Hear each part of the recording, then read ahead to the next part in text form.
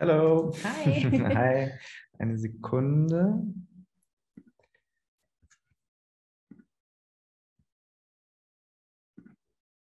So.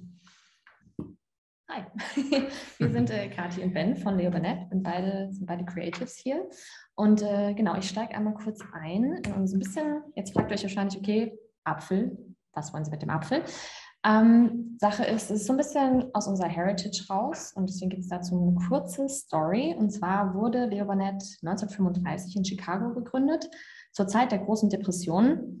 Und ähm, es war so, dass unserem Gründer, Leo Burnett, am Anfang des Foyer alles ein bisschen zu leer war und er sich gedacht hat, komm, stellen wir doch mal eine Schüssel mit Äpfeln auf den Empfangstresen.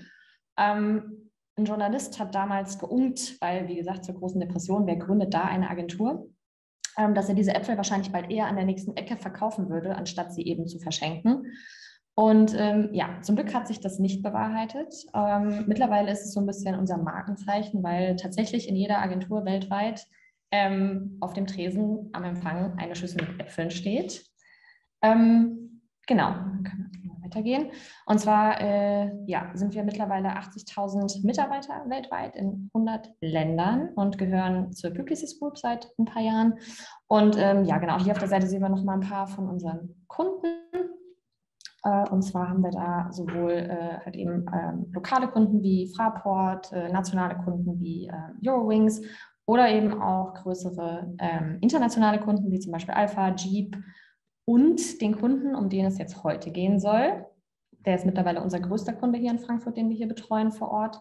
Und zwar ist das Samsung. Und an der Stelle übergebe ich jetzt mal an dich, Ben. Und ja. dann äh, haben wir euch einen coolen Case mitgebracht. Yes, vielen Dank. Wir haben ähm, einen Case von Samsung für euch äh, mitgebracht. Ähm, ist sozusagen ein Mobile-Mobile-Case. Ähm, es geht nämlich um um ähm, eine neue Kategorie von Smartphones, aber nochmal vorab. Ähm, Samsung ist äh, größter Kunde bei uns in, in Deutschland und ähm, für die sind wir in verschiedensten Brand-Units unterwegs, vom großen Markenfilm bis hin zu ähm, wirklich vielen, vielen äh, Mobile-Marketing-Campaigns.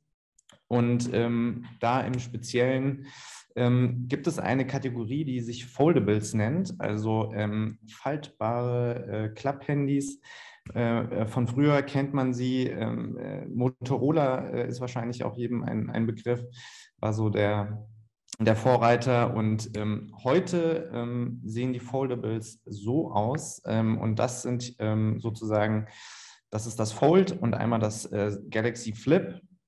Und ähm, das äh, mittlerweile die Geräte hier in der dritten Generation. und wir hatten dann die Aufgabenstellung, diese Geräte sozusagen ähm, ja, ähm, für diese Geräte maximale Awareness zu, zu erzeugen, ähm, da einfach immer noch ähm, eine Menge ähm, Hürde äh, besteht, wenn es darum geht, sich so ein Gerät zu, ähm, zu kaufen. und dass einfach immer noch sehr wenige Leute die Foldables auf dem Schirm haben. Und das hat mehrere Gründe. Äh, zum einen einfach, dass viele, äh, viele sagen, hey, der Screen ähm, geht einfach, ähm, geht doch kaputt äh, nach einer Zeit und ähm, was ist eigentlich so der große, große Vorteil, außer ähm, es ist irgendwie ähm, gerade sozusagen so ein, so ein leichter Hype. Und ähm, Genau, und das war dann sozusagen ähm, so die Ausgangssituation und die Challenges, ähm, die wir hatten, ähm, war dann sozusagen, wie man aus der Nische heraus in den Mainstream kommt mit der dritten Generation und wie man sozusagen eine Kampagne macht für ein Gerät, was man noch nicht hat oder was wir noch nicht hatten und noch nicht zeigen durften, einfach weil das ähm, von Samsung HQ zurückgehalten wurde.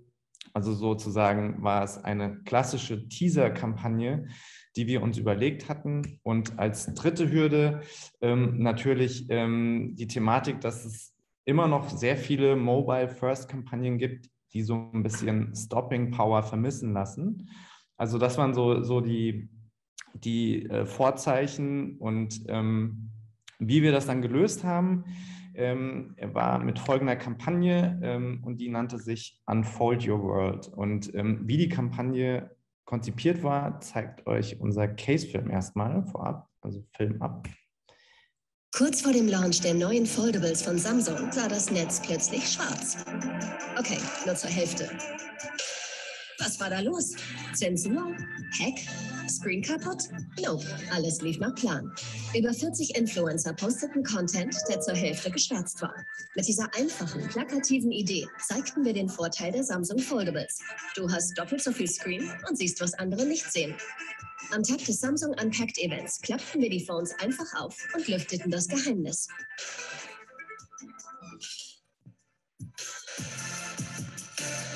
Im zweiten Teil der Kampagne wurde der Teaser-Content durch Creator-Video-Contents fortgeführt. In diesen Unfold-Momenten zeigten sie völlig neue Seiten von sich. So bewies der Video-Creator Falco Punch, dass er nicht nur auf TikTok jede Challenge annimmt, sondern auch auf dem Tenniscourt. Das Model Betty Taube tauschte Laufsteg gegen Skatepark. Und Instagram-Celebrity Tim Shaker von den Elevator Boys surfte aus dem Netz in die reale Welt. Unser Hashtag wurde zum Trending-Hashtag und sorgte für über 400 Millionen Impressions. Samsung verzeichnete so viele Pre-Order-Bestellungen wie noch nie. Und wir konnten dazu beitragen, die Foldables endlich in der breiten Masse ankommen zu lassen. Kurz gesagt, bei dieser Influencer-Kampagne hat wirklich alles geklappt. Genau.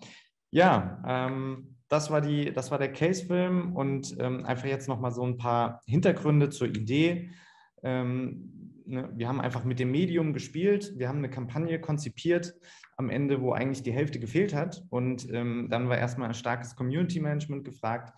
Teilweise haben das dann auch ähm, die Creator selbst ähm, beantwortet, was da eigentlich so vor sich ging auf den, äh, auf den Geräten, ähm, äh, auf denen wir die Kampagne ausgespielt haben.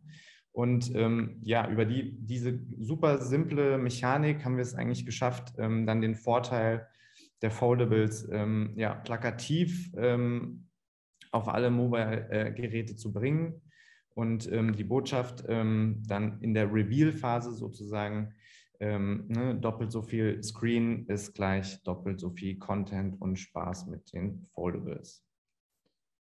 Ähm, Im zweiten Teil der Kampagne, das war sozusagen der Teaser, haben wir dann äh, 40, äh, über 40 Creator und Influencer konsultiert, ähm, ähm, die dann mit uns zusammen die Foldables massentauglich machen sollten. Ähm, aufgeteilt war das dann sozusagen in ähm, Hero ähm, Creator, hier in der oberen Reihe ähm, Julian Bam, der ist mittlerweile relativ bekannt, Hannes Becker, ein sehr ähm, populärer Outdoor-Fotograf Nico Hülkenberg war mal Formel-1-Pilot, die, die liebe Joyce war dabei und Rebecca Mir. Äh, von Germany's Next Top Model. Dann ähm, gab es ähm, sogenannte Makro-Influencer, die von der Reichweite ein bisschen geringer waren. Und ähm, dann haben wir nochmal um ja, weitere 23 ähm, Influencer das Team Galaxy ähm, erweitert, ähm, um einfach noch mehr Reichweite zu generieren. Und genau, und wir haben dann zusammen mit den, mit den Creatern sozusagen das, ähm, das Konzept uns überlegt, da, dass sie in ihren Kanälen mit den Foldables sozusagen nicht nur die Geräte entfalten, sondern auch sich selbst beziehungsweise eine neue Seite von sich zeigen.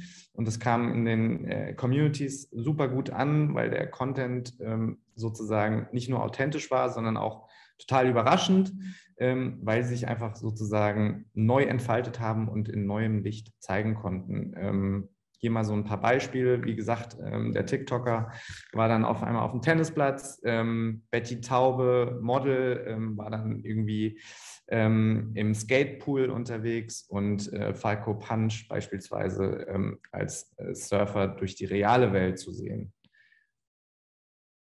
Und ähm, um euch nochmal einen Überblick zu geben, wie die Kampagnenarchitektur dann am Ende auch aussah. wie gesagt, wir haben aus der aus der Not eine Tugend gemacht, ähm, indem wir die Geräte nicht zeigen konnten, haben aber dann über diese Mechanik mit den geschwärzten Flächen sozusagen wirklich ähm, für Stopping Power gesorgt beim Scrollen, ähm, dann in der Reveal-Phase sozusagen den Content ähm, enthüllt und dann ähm, ab dem Launch-Event, als das Phone sozusagen präsentiert war, zusammen mit den Creatoren die Foldables äh, in den Communities inszeniert. Und aufgeteilt war das dann ähm, in, die, in Awareness und Consideration. Und ähm, wer sich dann die Phones bestellen wollte oder on Detail sozusagen sich darüber nochmal informieren wollte, wurde dann auch teils auf samsung.com weitergeleitet. Und ähm, ja, das Ergebnis, wie im Case-Film auch schon erwähnt, ähm, hat alles geklappt sozusagen und ähm, wir haben ähm, traumhafte Ergebnisse. Wir haben 400, über 400 Millionen Impressions. Der, der Hashtag Unfold Your World war äh, Trending Hashtag und ähm, ja, und ähm, die übermittelten Verkaufszahlen ähm, sind wohl auch so, dass die Foldables nun in der Masse angekommen sein sollten. Und ähm, ja, das war's von uns. Ähm, das ist der gute alte Leo. Ein großes Dankeschön. Ähm, happy Weekend vorab und ähm, ja, bin gespannt auf euer Feedback.